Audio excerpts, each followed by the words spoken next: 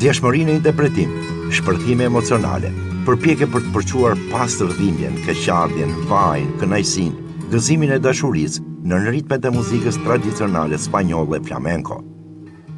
Të gjithë këtë magji e përcolli në Tiranë me kitarë artisti Ninjo Hosele, i cili hapi edhe vjeshtën spanjolle në Tiranë që këtë vit shënon edicionin e katërt. Por magjia për artdashësit shqiptarë nuk mbaron me kaq. Tingujt e kitarës së Hoseles u shoqëruan me goditjet karakteristike të duarve apo të takave prej druri që kombinoheshin perfekt në oktavat më të larta muzikore të artistëve pjesëmarrës në këtë performancë.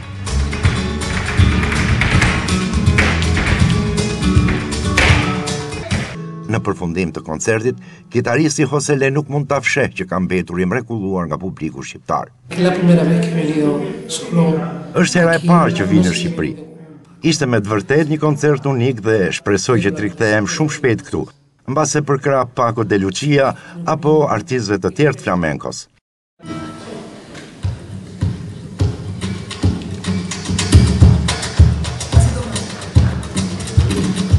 Kitaristi 36 vjeçar, një bashkëpunëtor i ngushtë i këngëtarëve të njohur Elton John apo Alicia Keys, nuk nguron të thotë se shqiptarët i përngjasin me spanjollët. Shqipëria, shumë ekzotike, si një vend që i përket normalisht Mesdheut dhe rrjedhimisht më duket tejet familjar. Për ambasadorin e Spanjës në Shqipëri Manuel Montobio, koncerti i kitaristit Ninjo Hosele është i veçantë, sepse përkoi edhe me Ditën Kombëtare të vendit të tij. Este concierto no acaba hoy, sino empieza. Por ky koncert ishte vetëm fillesa e eventit kulturor Vjeshta Spanjolle në Tiranë, që këtë vit titullohet Mesdheu përmes pesë shqisave. Ambasadori Montobio zbulon disa prej aktiviteteve në kuadër të këtij eventi.